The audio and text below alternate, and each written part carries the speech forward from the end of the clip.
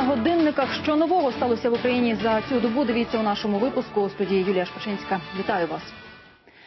На сході України активізувалися російські диверсанти і їхні поплічники на місцях. Це підтвердила Служба безпеки України. Як доказ оприлюднила перехоплену телефонну розмову так званих зелених чоловічків з їхнім російським керівництвом. Я тебя хочу вывести на прямой эфир Life News. Я дам этот телефон, они позвонят, представится Life News из Москвы. Скажи им несколько слов. Слушай, а ты уверен, что мне это, что мне это нужно? Не представляйся. Хорошо, возьми своего заместителя, того, кто говорит Мгм. с украинским акцентом, и Мгм. сформулируйте, пусть он сформулирует абсолютно отчетливо, представится заместителем командира и сформулирует абсолютно отчетливо, что происходит.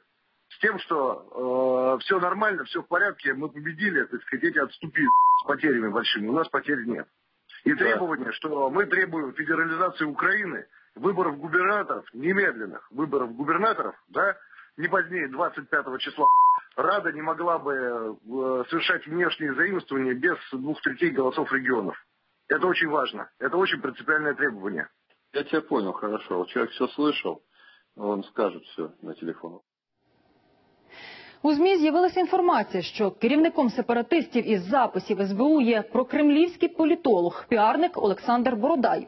Кілька російських журналістів заявили, що впізнали телефонний номер, який вказала Українська служба безпеки, і нібито він належить саме йому. Як відомо, у лютому Олександр Бородай записав відеоролик, що має назву Як розділити Україну. В ньому політолог розповідає, що добре знає Україну і багато по ній їздив.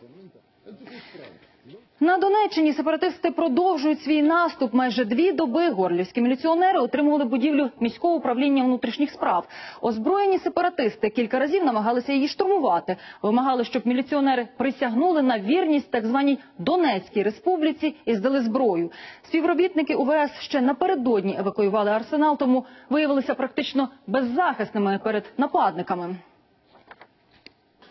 Горлівське ОВС стало наступним після захопленої раніше будівлі міськради. Кілька сотень пікетувальників черговий раз вимагали у міліції здатися, інакше розстріл. Оскільки реакції не було, розбили вікна, виламали грати і закидали приміщення коктейлями Молотова. Один із сепаратистів заліз на козирок і зірвав український прапор. Правоохоронці спробували йому перешкодити. Штурмовик хотів втекти і зірвався униз. Сепаратисти відразу ж заявили, його зіштовхнули.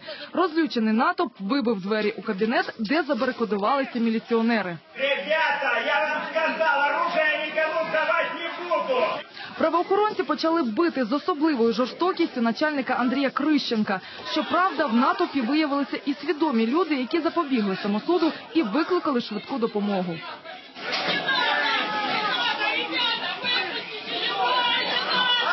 Озлоблені пікетники довго не пропускали лікарів до пораненого, але медикам вдалося домовитися, і вони забрали потерпілого. Цей персонаж у камуфляжі представився підполковником Російської Федерації і заявив, призначений новий начальник Горлівської міліції. С этой минуты начальником УВД города Горловки назначен Шульженко Александр Федорович. Для того, чтобы мы могли отличить работников милиции, которые находятся на стороне народа, у них, у каждого на правом плече возле погона будет повязана георгиевская ленточка. Залишивши в УВС кілька десятків людей, сепаратисти повернулися до будівлі міськради. За офіційною інформацією департаменту охорони здоров'я, в результаті штурму постраждали три людини. У двох вогнепальні поранення, у одного черепно-мозкова травма. Спокійніше було в Маріуполі. Мер попередив бюджетників, зарплату вони вчасно не отримають.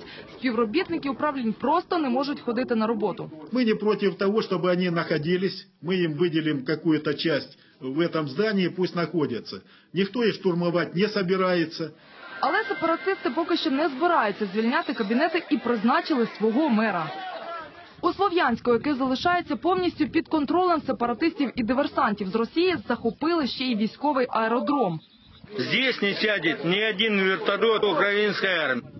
Нам не нужны вот эти модеры на нашей восточной Украине.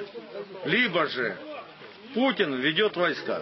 У місто прибули кілька військових вантажівок, в яких, за інформацією очевидців, приїхало підкріплення для бойовиків. Вони озброєні кулеметами, гранатометами і снайперськими гвинтівками Драгунова. Жителі міста, розуміючи безсилля влади і силовиків, які не можуть протистояти сепаратистам, почали об'єднуватися у загони самооборони.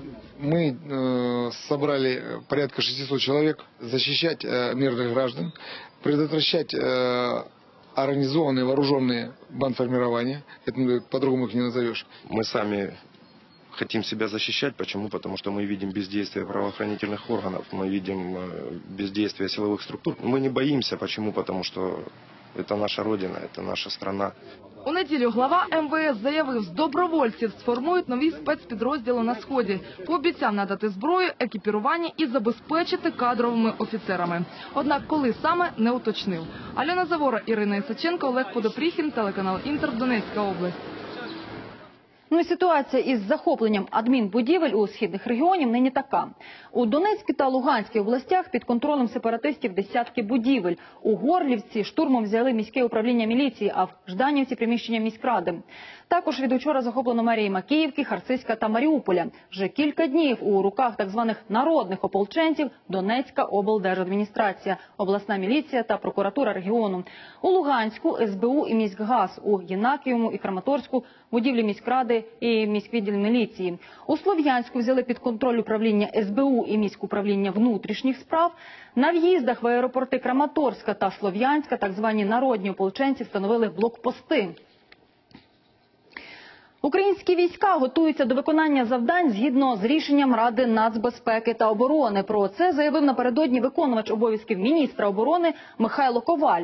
Він нагадав, що збройні сили відповідають за цілісність і оборону держави, тому виконують всі закони, які це передбачають.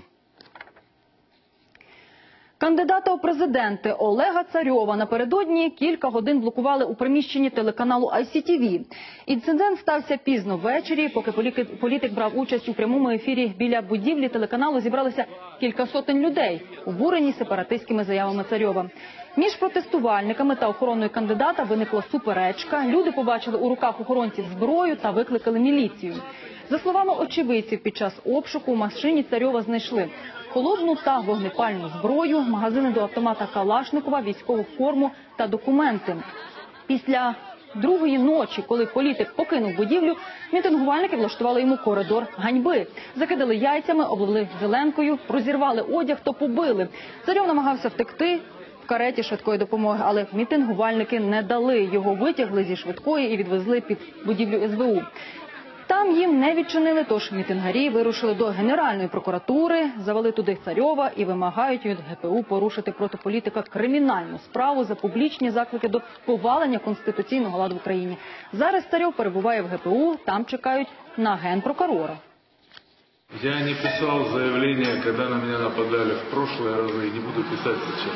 И на Западе, и на Востоке очень много хороших людей. Просто люди должны научиться жить друг с другом. Если мы хотим сохранить страну, мы должны научиться переносить других. Не быть нетерпимыми, другой точки зрения. Я готов. А іншому кандидату у президенти під стінами ICTV теж перепало. Михайла Добкіна облили зеленкою та посипали борошном. Політик прийшов, щоб взяти участь у прямому ефірі програми Свобода слова. Однак біля входу його перестріли мітингувальники. У студію політик так і не зайшов. Однак пізніше телефоном в ефірі заявив, що мітингувальники пошкодили колеса його машини, а кількох його помічників побили. Екс-міністра агрополітики оголосили у міжнародний розшук. Нагадаю, Миколу Присяжнука підозрюють у розкраданні бюджетних коштів. Він нібито привласнив понад півмільярда гривень, які виділили на закупівлю об'єктів державного цінового регулювання цукру піску. В рамках цієї справи наприкінці березня правоохоронці обшукали Міністерство аграрної політики і помешкання низки колишніх посадовців. Зокрема, в екс-міністра Присяжнука вилучили 286 тисяч доларів, 659 тисяч гривень, кілька наручних годинників відомих іноземних брендів. Минулого тижня Печерський суд Києва надав дозвіл на арешт екс-посадовця, і генпрокуратура оголосила його у розшук. Апеляційний суд Києва сьогодні розгляне скаргу ректора втікача Петра Мельника на арешт. Слухання справи розпочнеться у другій годині дня. Колишнього ректора Національного університету Держав- Державної податкової служби затримали в аеропорту Бориспіль 1 квітня, одразу по прибутті з Лондона.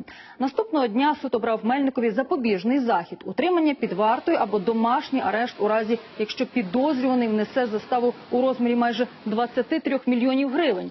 Ректора втікача звинувачують у корупції. Торік у липні його затримали під час отримання хабара. Проте він втік під домашнього арешту, знявши електронний браслет. Після чого його оголосили у міжнародний розшук. Свіжі новини завжди зможете дізнатися на сайті подробності.ua. Наша команда вже працює над наступним випуском. Тож побачимося. А просто зараз в ефірі ранок з інтером. Не перемикайтесь.